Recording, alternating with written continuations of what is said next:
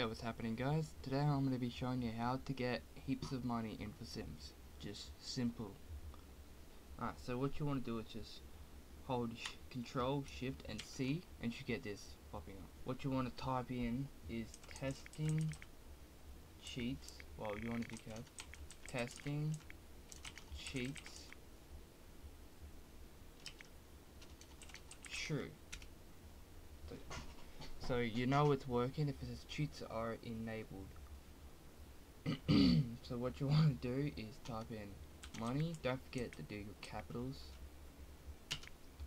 And so I have 14,500 right now. I'm gonna just type in 9999 9000 99,000 900,000 9 million or let's just go 99 million. So after you've done that, enter. Oh, that's 9 million. There you go. You should get a bunch of pop-ups, achievements to come up.